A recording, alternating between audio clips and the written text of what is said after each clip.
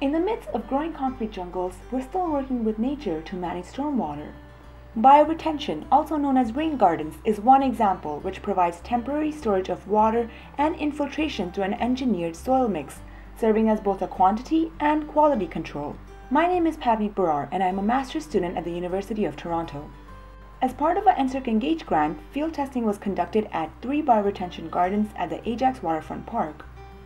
While we understand how to initially design these systems, what's not clear is if and how their performance changes over time.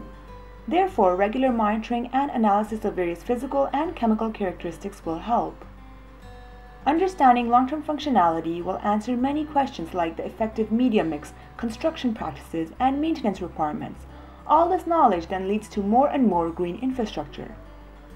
Plus, these gardens are beautiful and add immeasurable value to the urban landscape.